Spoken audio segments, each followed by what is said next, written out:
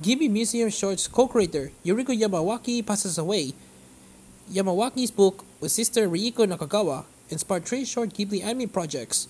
Award-winning and celebrated picture book illustrator Yuriko Yamawaki passed away in her home on September 29 at 8.32 p.m. after a bout with the autoimmune disease, Sjogren syndrome. She was 80. Her family held a private funeral service led by her husband, Susumu.